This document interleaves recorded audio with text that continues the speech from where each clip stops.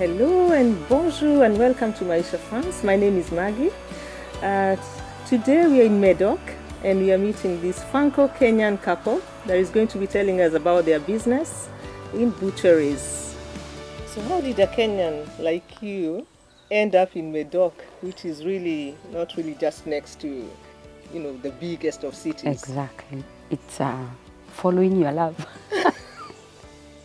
I followed my husband because this is where he has his home, Yes. of which it was considered as a summer home. Mm-hmm. So we, when you used to, we used to live in Dubai. So summertime we used to come to this house. It wasn't big, but since it is next to the sea, that's how I came to fall in love with this place. It's a lovely place. It's beautiful, especially during summer. yes. You have no idea. No, It's really beautiful. Yeah, it's beautiful. Yes. So that's how I ended up here. Mary, mlikutana wapi na David? Kwa sababu nimesikia akiongea mambo ya Dubai. Um, tena amedoka hapa tuko, mimi hata sijui mlikutana wapi, naweza kutuambia maybe you never know, it's tulikutana, nice to know. Tulikutana 2003 yeah. and it was in Saudi Arabia. Oh, you're a globetrotter. I'm a daring person. yes. So I went to Saudi Arabia looking for green pastures as mm -hmm. most of girls do in Kenya. Right. I ended up in Riyadh. And in Riyadh, that's where I was working and that's where I met my husband.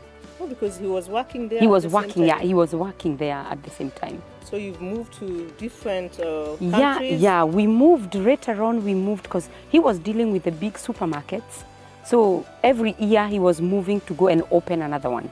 So every time I used to move with him. Yes. We went back to Kenya on 2006 Yes. and we did our wedding there. And then we, congratulations. yeah, thank you. Then we went to Bahrain and uh, I had two kids with my first uh, Kenyan husband, my ex, yeah.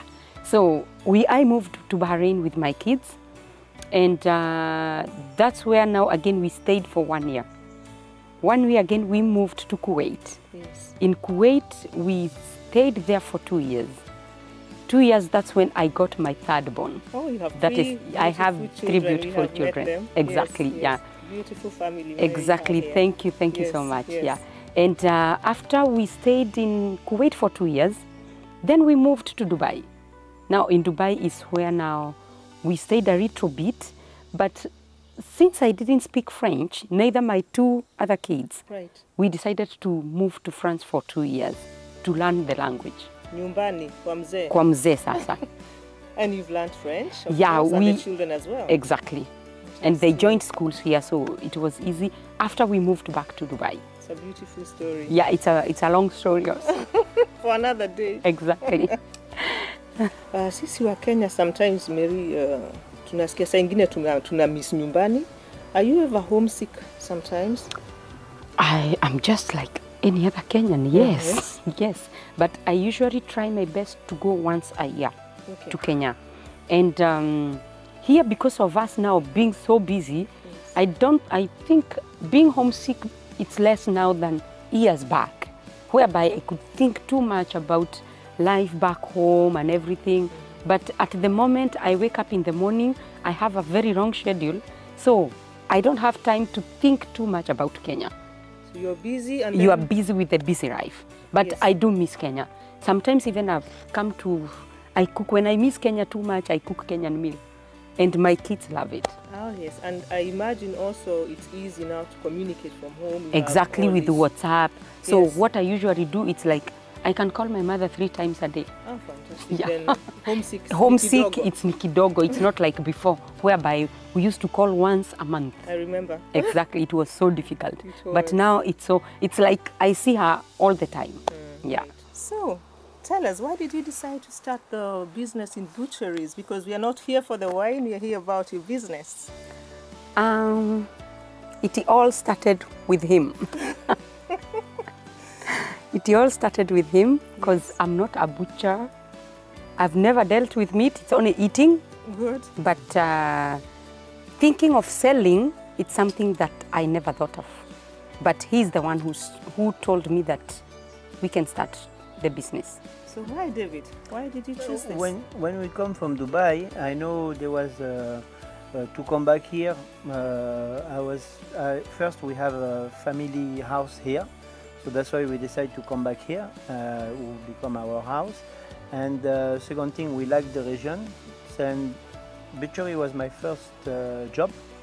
Uh, with uh, we, where I was working in uh, Dubai, I started as a butcher, but after I grew, and uh, we decided because I have seen still there was a need and people like meat, especially in this area.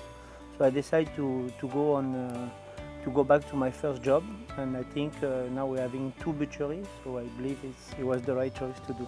Now since the last uh, five years. Fantastic. I speak a little bit of uh, Swahili, kidogo kidogo, uh, like uh, sasa, poa, all this. Super. And but I have a problem in the butchery if I if I build myself in a, build, in a but, build a butchery in uh, Kenya because I'm having a problem between uh, I mix the word between Nyamba and Nyama. so this maybe be, be will be a little bit complicated. But I'm there, I'm there to help him. So sometimes, you know, if you say nyama or nyamba, somebody will understand. It is, it's not a big deal anyway. It's fun. It's fun. The the they, they all accompany each other. Definitely, Exactly, yeah.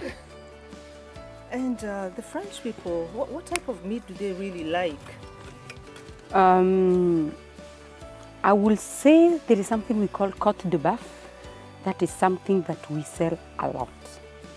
Okay, so and that's your best yeah, sale? yeah, it's our best sales. And then uh, there is something, kuna kitu we, in Kenya we are used to eat mutura, Mhm. but the mutura here is not the same as the one back home. Yes. And it's something I'm trying, maybe one day I will come to do the, the original mutura of Kenya. Yes. And uh, here they usually call it boudin, and it also moves a lot. We, we fabricate some, and some we buy from the some furnitures. So you can say it's mainly red meat. Yeah, red meat. Okay. Yeah, Okay, sisi wa Kenya tunapenda nyama choma. Nyam- yeah, exactly. Uh, are they the same like us? Yes, especially when the weather is a bit uh, like today, there is a bit of sun. That's when we sell a lot of uh, nyama chomas. But for us, we don't choma.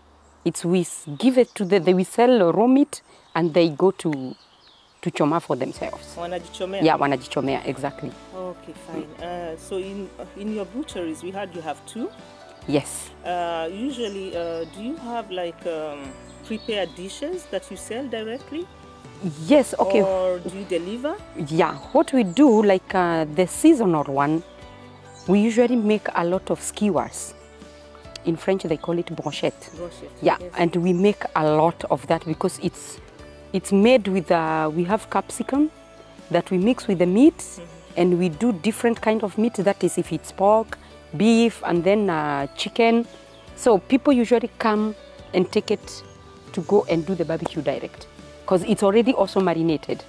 We deliver a lot because uh, sometimes we are having some orders from school that is around because you know here in France kids usually eat lunch in school so we usually have a lot of meat that the school will ask for the preparation so we usually that one will go raw and it's them to prepare but when it comes to like uh, maison retraite Old people's homes? yeah, old, Yes. the old people's home, yeah, exactly. So there also we usually deliver. And uh, this time we were shocked that the capacity was too big. And we are happy for that. Then, you know, this region is um, having a lot of uh, castles. That is the wine, vineyards and everything. Mm-hmm. So there also we do delivery.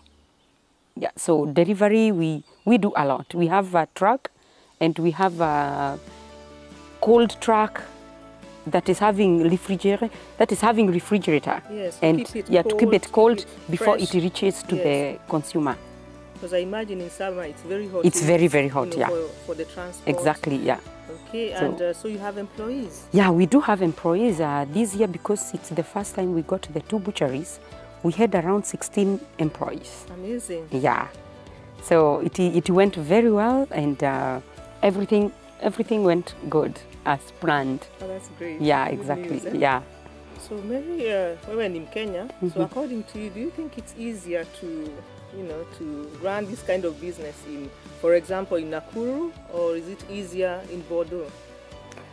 I will say in, um, in Nakuru it's okay, but the way butcheries are run in Kenya, it's not the same the way they are run in, in, uh, in France.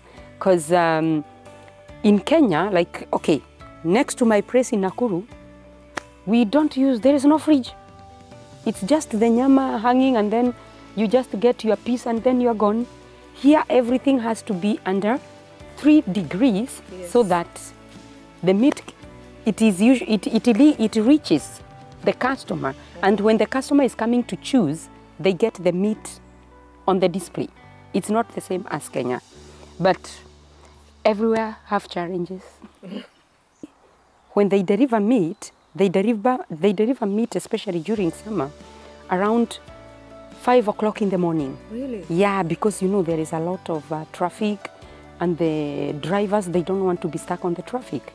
And then for us to be able to prepare for the day, we have to get it earlier before the clients. The butchery is usually opened at seven o'clock in the morning.